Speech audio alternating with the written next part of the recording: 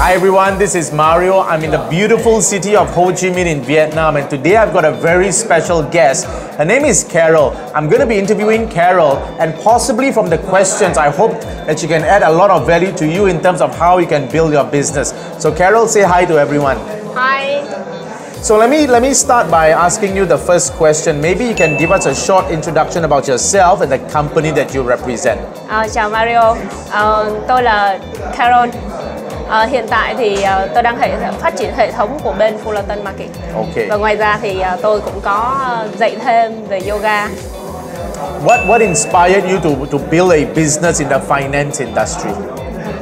Ờ, thị trường ờ, về forex thì rất là rộng lớn và ở đây thì ờ, ừm, cái cảm hứng của tôi đó là kiếm được rất là nhiều tiền ở cái thị trường này và giúp được rất là nhiều người kiếm tiền cùng và giống như tôi. In, in, in the whole finance industry, there are so many different instruments. Why did you choose Forex? Why are you excited about the Forex market? Ờ, Forex là số 1 lựa chọn hàng đầu của của Carol.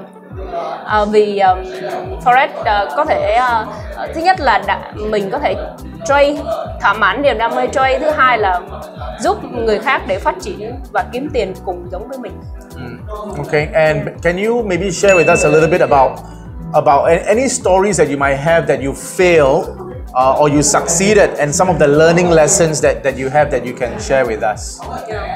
À, đối với thị trường forex thì mình cũng đã hợp tác với rất là nhiều sàn trước đây với ngoài Fullerton ra trước đây là mình hợp tác rất là nhiều sàn nhưng mà đến cái thời điểm hiện tại mình ờ, đi cùng với Fullerton từ năm 2015 rồi và mình hiện tại về bản thân mình nhận được rất là nhiều giải thưởng và đội nhóm của mình cũng rất là nhiều giải thưởng thì sắp tới đây mình cũng sẽ có một cái chuyến đó là ờ, thử thách cùng với CEO ờ, là được ờ, trong top những cái người mà được chọn đi ờ, cùng hội nghị bàn tròn với Mario Singh. Thank Okay. you, thank you. Now, um, the last question I'm to ask you, Carol. You know, to grow a big business, you, you obviously need some business strategies, or you may need to, to manage people well. Would you have any tips for us in terms of how you manage people, or how you would build a business bigger? Any tips for us? Uh, yếu tố quan trọng của mình để mà phát triển hệ thống đó là con người. Ờ, mình muốn lựa chọn và tìm ra được những cái người ưu tú nhất và cứ như vậy họ sẽ dần dần sẽ phát triển trong cùng với mình. Cứ ờ, đào tạo một cái người họ thật là tốt. Họ sẽ những người đó họ sẽ đi cùng với mình để phát triển hệ thống này lớn mạnh hơn và ngày càng rộng.